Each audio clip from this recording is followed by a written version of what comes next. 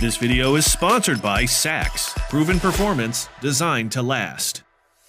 What if I told you there was a technology that could prevent wheels from falling into potholes, reduce stopping distances, and offer new levels of comfort and control for a driver?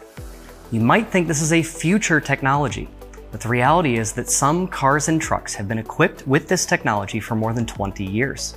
The technology is called Continuous Dampening Control, or CDC for short. These units use electronically controlled valving that is adjusted in milliseconds to control the compression and rebound of the dampener. For example, the unit can increase rebound when a pothole is detected by either the wheel displacement sensors or a camera. This prevents the wheel from dropping down into the pothole and hitting the back side of the hole.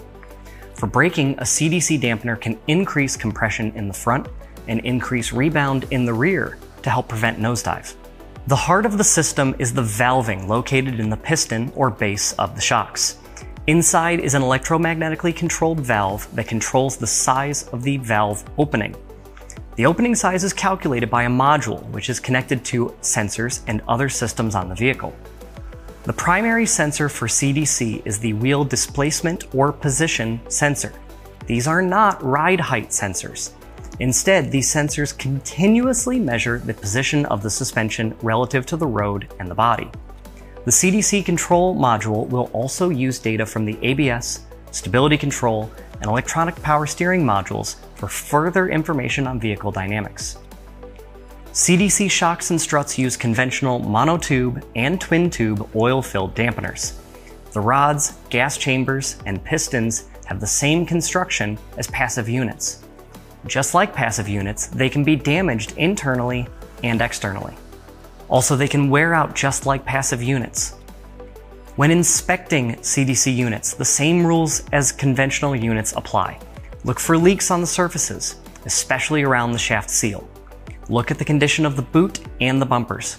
Scrutinize the condition of the shaft for any signs of impact or corrosion. The knee on the bumper test is not a valid test for CDC units. Since the valving is variable depending on speed and vehicle dynamics, static test in your bay may yield inconsistent results. A test drive under controlled conditions is the best tool to assess the condition of the system. For CDC diagnostics, it requires a scan tool. Just like an engine, a CDC system has diagnostic trouble codes. When the vehicle is first started, the CDC system will perform a self-diagnostic. If there is an issue with the actuators, or the CDC module is not communicating with the other modules, DTCs will be set.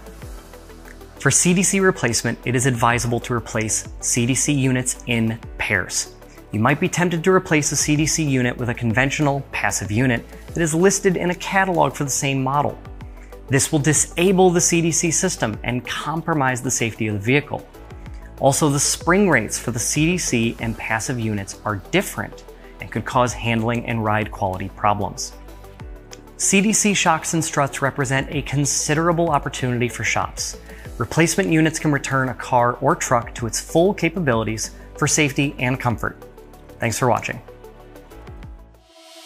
Sachs, proven performance designed to last.